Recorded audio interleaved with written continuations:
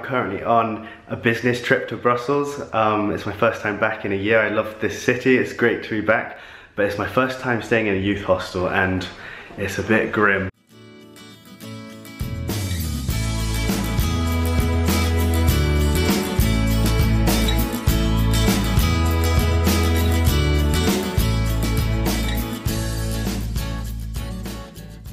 I'm very excited to be here and I'm excited to have some Belgian chocolate, have some fries.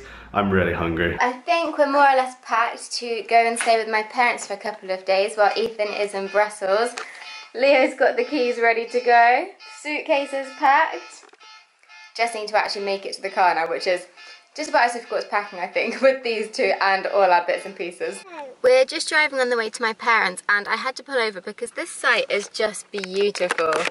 This is where I grew up. We used to come and walk in these places all the time when I was growing up and I just think they're so beautiful. Are you so excited? Get out of the car! Hello!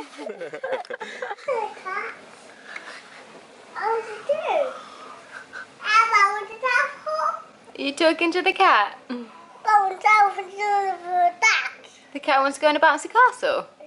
Uh, I don't know about that. It's Peter!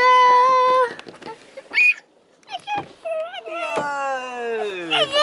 Hello! How's it going? Oh, it's Peter and mm. Ellie! Mm. We're gonna have so much fun, aren't we? We're gonna have a flipping ball. Nice shoes, Leo. They look a bit big for you. Whose are they? Too big. Oh, they're off. Are you cricket batting him? I'm being bludgeoned to death by my nephew.